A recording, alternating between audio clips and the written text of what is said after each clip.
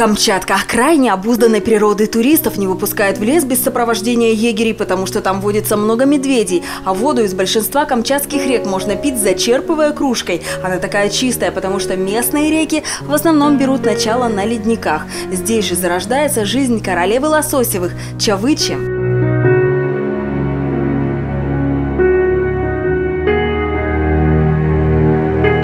Повзрослев, Чавыча выходит в тихоокеанские воды, набирается сил, нагуливает массу. В соленых просторах она вырастает до 180 сантиметров. Это рост взрослого мужчины.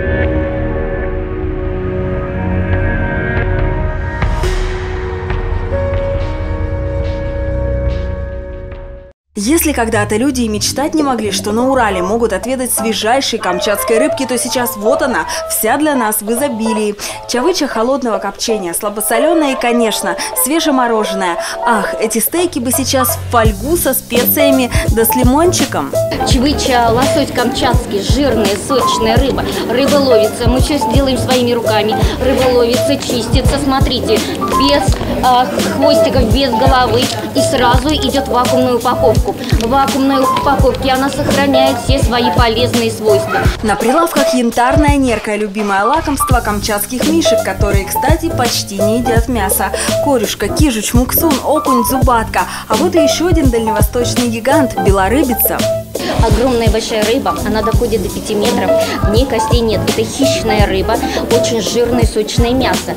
А у нее идет только позвоночник, мы его убираем, и рыбка идет без, без костей. Горячее и холодное копчение.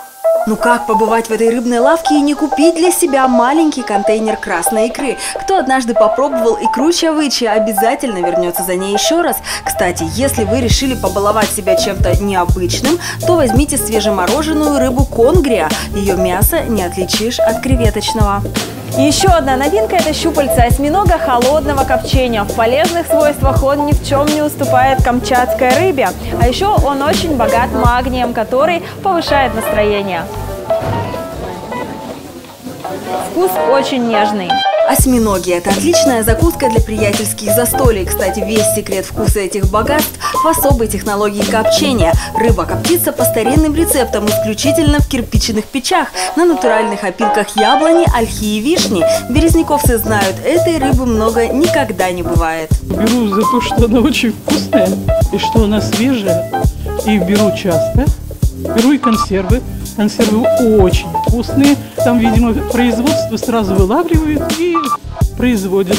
Поэтому они очень полные, очень вкусные. А рыба какая? Да все попробовала понемногу. А вы еще не заглянули в рыбную лавку? Тогда спешите, рыбак Камчатки гостит у нас неделю с 25 февраля по 1 марта. И, как всегда, во дворце имени Ленина. Рыба здесь свежая каждый день. Уже завтра придет новая машина с тихоокеанским уловом. Евгения Кокшарова, Степан Некрасов, Новости Верхнекамья.